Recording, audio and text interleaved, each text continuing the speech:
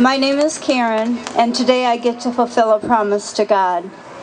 In mid-August of 2008, while praying for our nation with 750,000 people here on Capitol Hill, God spoke words into my spirit.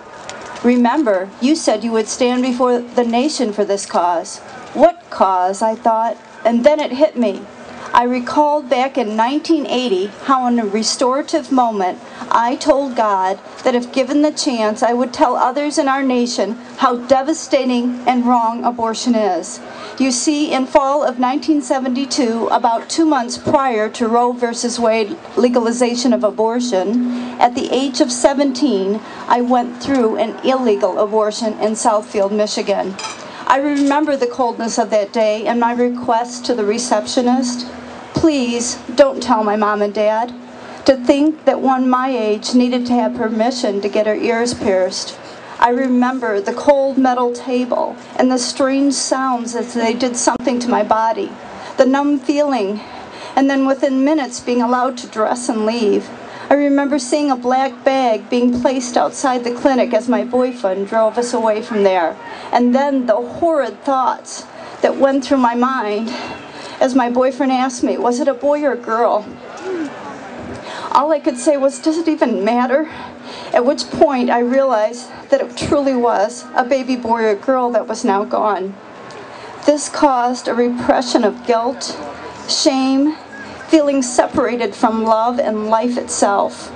I lost my happy-go-lucky, upbeat personality. The young girl everyone else knew as Giggles was gone. I guess you could say on that cold day in the fall of 72, along with my baby, my spirit died too.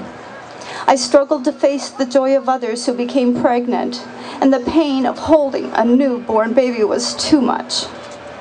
Then I broke, yes, literally, had a nervous breakdown of hellish proportions, was hospitalized, broke the silence, and released my deep, dark secret to my doctor and my family.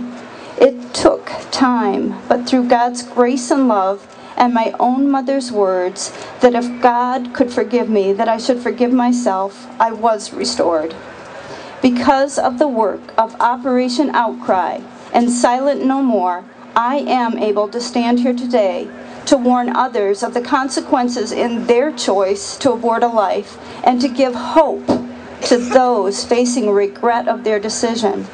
God, in his infinite mercy and forgiveness, wants to set you free.